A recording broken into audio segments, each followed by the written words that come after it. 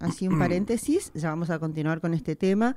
Mientras tanto, le vamos a dar la bienvenida a eh, la subsecretaria de Promoción de, eh, Salud del Ministerio de Salud, a la eh, señorita o señora, ella me va a corregir, Antonella, Antonieta, perdón, Cairé. Sí, ¿cómo le va? Disculpe. Edith y Gustavo la saludamos. Muy bien.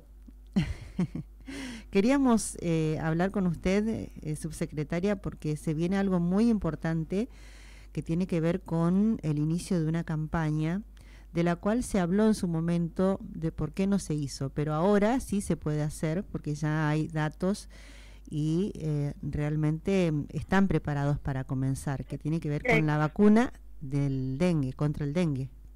Exactamente, habrán escuchado las semanas anteriores, las semanas pasadas, que el Ministerio presentó el plan de vacunación contra el dengue en la provincia. Sí.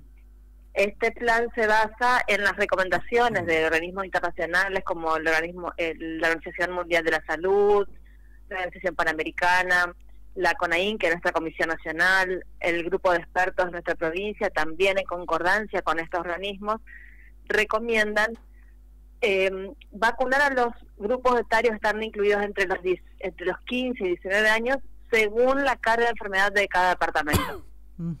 Por eso se hizo una clasificación de los departamentos con las notificaciones a lo largo de todos los años, desde el año 1998 hasta la actualidad.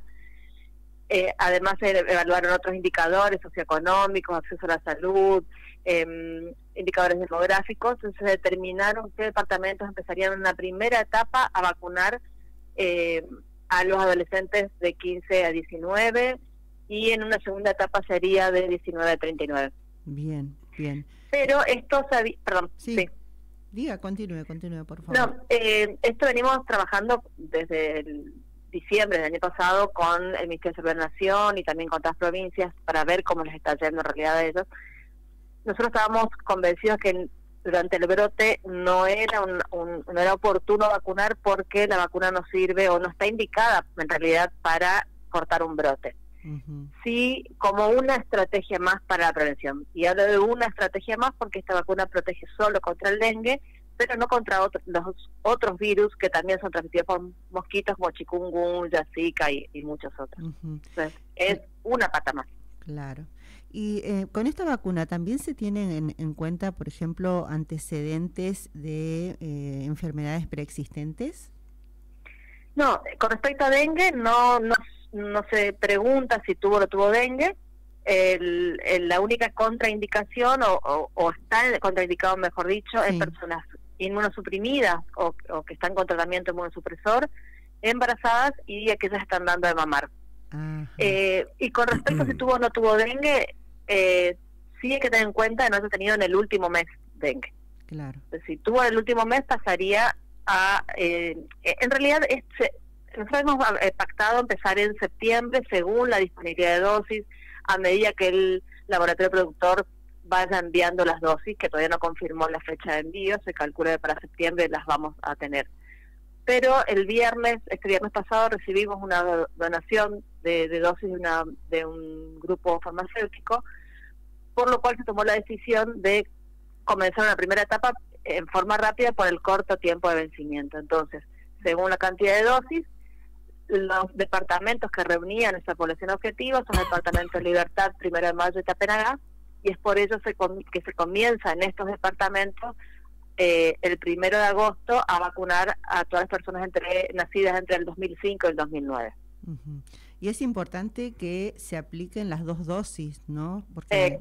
Exactamente, es fundamental. La vacuna demostró ser efectiva con las dos dosis. Es decir, nosotros al menos por ahora los estudios muestran eso, eh, los países donde ya se estuvo vacunando también se demuestra que con dos dosis uno logra una buena una buena protección para las formas generales, los síntomas generales de presentación, pero también para evitar las formas graves. Em, y como mínimo deben pasar tres meses entre la primera y la segunda. Bien, bien qué importante esto, ¿no? Eh, destacar, porque de nada sirve que la gente eh, se ponga una vez la vacuna y se olvide de, ponerse la segunda dosis. Por es eso, lo, por eso lo, remarcamos. sí, es un problema están teniendo algunas provincias con el tema de la adherencia, que no sabemos bien por qué, porque una vacuna que fue muy muy demandada, pero eh, está costando mucho en, en, algunas provincias como Corrientes, Misiones, eh, captar a la población objetivo. Ellos tienen otra población objetivo, están vacunando a los mayores de 29 años en adelante, con muy baja adherencia y, y le está costando mucho recaptar para la segunda dosis. Así que yo confío que en nuestra provincia va a ser distinto, hay mucha eh, mucha demanda, mucho interés por esta vacuna, eh, así que bueno, suponemos que, que, vamos a poder lograr una buena cobertura en estas cortes, que son las que van a estar expuestas en los próximos brotes. Los brotes se repiten cada 3, 4 años generalmente, y es por eso que la OMS eh, recomienda estas edades, porque dentro de 3, 4 años esta va a ser la población que va a estar más expuesta también y más en riesgo. Eh, subsecretaria, eh, buenas tardes, ¿cómo anda? Gustavo Romero la saluda. Eh, eh en, simple, em, digo, pasando en limpio un poco todo lo que usted está explicando y que es correcto, ¿no? Em, se recomienda esta, este, este, estas edades, ¿no? Porque son chicos que tienen antecedentes de infección por dengue confirmado en en el pasado, digo, mediante un análisis de laboratorio. No, no, es para todas las personas. Ajá conozcan o no su estado anterior, si tuvieron o no tuvieron dengue. La única recomendación mm. es que si saben fehacientemente que tuvieron dengue en el último mes, hay que esperar un poco más y entrarían recién en la, en la, la vacunación para septiembre. Claro. Pero si tuvieron anteriormente o no saben, se vacunan igual. Em, esto es así justamente para em, aprovechar que em, la, la respuesta es mucho mejor sí pasó más de un mes de haber tenido dengue. Lo mínimo que se, que se, que se aconseja es un mes de, haber tenido dengue. Eh, salieron algunos trasnochados y amanecidos, ¿no? A exigir la, la, la, vacuna en el momento que no era propicio y no era justo el, el, tiempo por el brote que había, ¿no? Que estaba complicada la situación. Tuvimos acá también algunos amanecidos, ¿no? Concejales del peronismo. Me hago cargo con lo que digo, subsecretaria, así que eh, me hago cargo con lo que digo. Em, yo la excuso de todo esto a usted, eh, pero salieron a, despotricar eh, cuando el dengue, a ver, conocimos el dengue ya por el año 2004, 2005, no recuerdo ya, y nunca hicieron nada por la salud. Nunca hicieron nada para, para protegernos bueno, o para hablar o para prevenir, no, no hicieron nada y en este caso salieron a querer desfenestrar, despotricar contra el gobierno de Leandro Esdero, que muchachos tendrían que aprender de esto. Primero, informarse, porque lo habíamos hablado con el ministro de Salud, no era el momento propicio, que entiendan. Entonces, aprendan. Primero, informarse y después comenzar a trabajar, a trabajar con la vacuna y sobre la, sobre la población, ¿no? El ministro desde el inicio de la gestión, inclusive antes de asumir, ya estuvo en contacto con el laboratorio Taqueda. Eh, estuvimos investigando sobre el tema, las recomendaciones de, otros organismos internacionales, de otros países donde ya había estado vacunando y llegamos a esa conclusión también por, por eh, en concordancia con el comité de expertos. Ellos también coincidían en que no era el momento apto, que la vacuna no era lo ideal para cortar el brote, eh, pero sí también hay que reconocer que a veces desde la desde el desconocimiento uno puede estar a favor o en contra sin eh, indagar mucho. Ahora también hay personas que dicen que eh, evitemos la vacunación por los efectos adversos. Lo que yo quiero dejar bien claro que es una vacuna que demostró muy buen perfil de seguridad, tanto en los estudios clínicos, pre-ensayo o antes de, salir a la comercialización, como en, los países, en, nuestras provincias, incluso que ya estuvieron vacunando no hubo notificación de efectos adversos graves más que dolor en el sitio de aplicación o en algunas personas eh, fiebre o cefalea. Ahora, aprovechar. Sí, eh, recordar. sí, sí, sí, exactamente, aprovechar la oportunidad de que tenemos estas vacunas, pero eh, volver a recordar las personas que no se pueden vacunar porque la vacuna es una vacuna virus vivo atenuado y en aquellas personas que están con la inmunosupresión o las embarazadas o personas estando de mamar, el virus puede replicar y sí producir la enfermedad que estamos tratando de evitar. Solamente eso con respecto a la seguridad. Eh, aprovechar que tenemos y que vamos a tener la vacuna gracias a, la gestión y gracias al trabajo del gobierno de la provincia del Chaco, el Ministerio de Salud.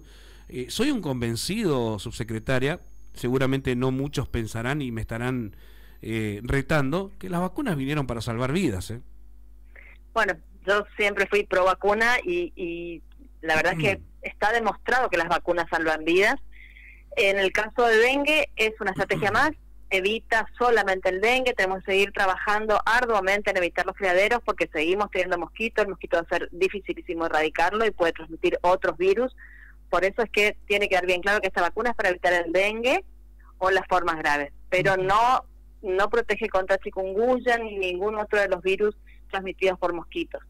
Solamente tener eso en claro y seguir trabajando. En, en la escuela, en educación, venimos trabajando también mucho para que eh, con los chicos se, se implementen actividades para adquirir buenos hábitos de eliminación de criaderos, reconocer cuáles son criaderos, posibles criaderos de mosquitos para que los niños después o los alumnos repiquen en sus hogares y entre todos podamos evitar la la proliferación, de ahora por, e, por, eso por eso muy bien lo que lo, que explica no subsecretaria porque podemos tener vacunas pero nosotros también tenemos que ser responsables mantener limpia la casa los bebederos tirar el agua de, de que hay cubiertas que eh, cambiar el agua de, nuestras mascotas el agua de los floreros también nosotros debemos ser responsables porque la vacuna y como usted dijo ¿eh? y como usted dijo lo venimos sabiendo desde, desde hace años desde el año 2009 que mm. se repite siempre el mismo versito eliminación de criaderos eliminación de criaderos pero realmente es una de las eh, de los de las estrategias que tiene más impacto. Ahora sumamos una estrategia más que es la vacunación, así que tenemos que aprovecharla. Eh, es, como dije, una vacuna demostró ser muy efectiva contra los cuatro serotipos, sobre todo serotipos 1 y 2, que son los que circulan en, nuestra provincia, y con un buen perfil de seguridad. Mm, claro, Así que bueno, empezamos por estos departamentos el primero de agosto. Bien, porque, a ver, eh, soy un convencido y, me, incluyo en esto, subsecretaria, que como fue también el COVID, no hemos relajado, hemos dejado el alcohol, el barbijo, cuando hay lugares que debemos seguir usándolos, pero nos relajamos y listo. Ahora, en esto tampoco no nos debemos relajar por más que nos hayamos vacunado, no, hay que seguir trabajando, hay que seguir creando conciencia en esto, ¿no? Totalmente es así. Eh, uno después después de, de, un brote, uno finalmente queda como alerta, susceptible y cuidándose, y luego eso va decayendo, nos vamos relajando. no nos podemos relajar con el tema de, los, de las enfermedades transmitidas por mosquitos, a pesar de tener una vacuna que demostró ser efectiva y segura, tenemos que seguir trabajando en, en la eliminación de criaderos para no tener mosquitos en la casa. Claro, es lo mejor que se puede hacer, no bajar los brazos. Eh, como decimos eh, habitualmente, a no relajarse entonces. Eh, la vacuna ya está, era algo que se pedía, el año pasado no se pudo dar porque no estaba, no era el momento y ahora que la tenemos entonces eh, hay que eh, hay que aprovechar la oportunidad para que los chicos estén entonces eh, ya precavidos. Empezamos, empezamos en, perdón, no sé si lo repito no sé si ya dije, empezamos el, primero de agosto con los departamentos de libertad Tapenagá el primero de mayo y a partir de septiembre, a medida que vayamos recibiendo la vacuna, se, en forma paulatina seguiremos con los otros departamentos. Perfecto. Eh, eh, un mensaje que medio que yo también no lo entiendo, a ver si usted lo puede comprender, subsecretaria, dice, eh, buenas tardes, no entiendo lo de las edades. Y nosotros, dice, lo que hoy estamos en riesgo, o sea, el resto de la población, dicen. Bueno, vuelvo a repetir, esta vacuna se probó en adolescentes. Entonces, la recomendación de los organismos internacionales en los cuales se basan los ministerios de salud, los programas o las direcciones de administraciones, o al menos en la Argentina, es seguir las recomendaciones internacionales. Perfecto. Eh, estamos esperando más evidencia, estamos viendo qué pasa en Brasil, que está vacunando otras edades, estamos esperando eh, el mismo laboratorio, está haciendo otros estudios en otros países. se va a incluir Argentina también en alguna provincia seguramente para ver qué pasa con los mayores de 60. Los mayores de 60 por ahora no está indicada su vacunación, por lo que comenté de que es una vacuna virus vivo atenuado y puede eh, replicarse en el organismo y producir enfermedad. Puede ser contraproducente. Por lo pronto, por eso digo, por lo pronto una primera etapa, según la recomendación de los organismos internacionales, es vacunar de 15 a 19 y luego de 19 a 39. Empezamos por esta por esta eh, franja etaria, que es la que va a estar más expuesta dentro de cuatro años cuando tengamos brotes, tres, cuatro años, y además es la eh, son las edades que donde se probó la vacuna. Eh, por otro lado, recordemos que em, eh, el laboratorio, si bien es un laboratorio muy serio, es un laboratorio digamos, mediano o chico, y no van a poder brindar o entregar la cantidad de vacunas necesarias en forma conjunta para toda la Argentina. Entonces, se priorizan las, las, provincias de la región NEA y NOA, entre los cuales estamos incluidos, y se priorizan departamentos. Tampoco va a ser, van a ser todos los departamentos, sabemos que va que esto va a generar un poco de confusión o quizá un poco de enojo, pero es según la notificación a lo largo de todos estos años, los departamentos que han tenido mayor carga de enfermedad. En esos vamos a empezar. Y con estas edades que, estuve nombrando. Bien. Y, está, eh, perdone la extensión de, esta entrevista, de esta nota subsecretaria, pero es muy importante, ¿no? Obviamente que está en uno. Después, en los padres, si quieren vacunar o no, ya queda bajo la responsabilidad de cada uno, ¿no? Yo creo que a diferencia de otras provincias vamos a tener una buena adherencia, los padres yo creo que entienden la necesidad de eh, de a poco ir sumando, sumando estrategias sí eh, eh, me hiciste acordar que no nombré que como vamos a, vacunar principalmente en las escuelas, en los colegios secundarios, necesitamos que todos los menores de 18 vengan con el consentimiento informado, eh, por lo cual ya se repartieron a, los directores de las escuelas los consentimientos para entregar a los padres. si bien, según la ley, no es necesario el consentimiento de un adolescente que toma la decisión de vacunarse, se le puede vacunar sin el consentimiento de los padres. Solo se pide el consentimiento ahora porque como va a ser una escuela para no tener después algún reclamo por por parte de los tutores hacia los directores y hacia los docentes.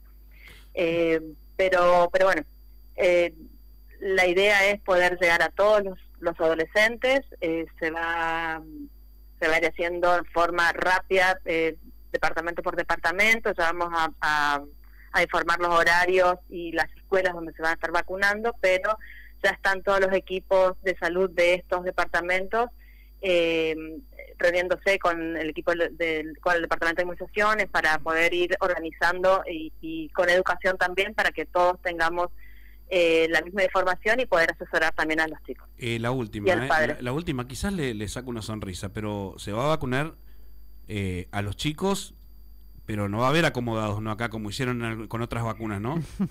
No, no, es por eso que estamos, nosotros nos mm. basamos en los anuarios y en las matrículas escolares que nos pasan los directores. Bueno, perfecto. Casi que con nombre y apellido va, va, va la vacuna.